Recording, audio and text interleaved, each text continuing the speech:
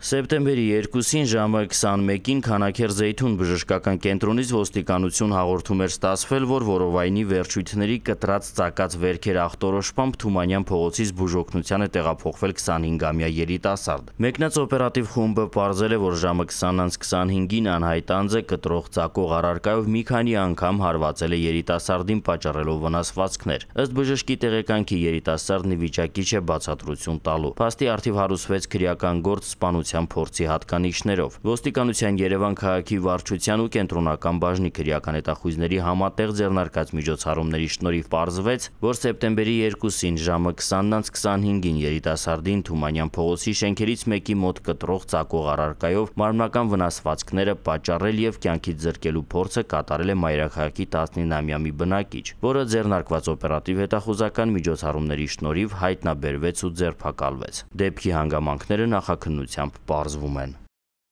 Ծանուցում. Ենթադրյալ հանցանքի մեջ կասկածվողը կամ մեղադրվողը համարվում է անմեղ, քանի դեռ նրա մեղավորությունն ապացուցված չէ Հայաստանի Հանրապետության քրեական դատավարության օրենսգրքով սահմանված կարգով՝ դատարանի օրինական ուժի մեջ մտած դատավճռով։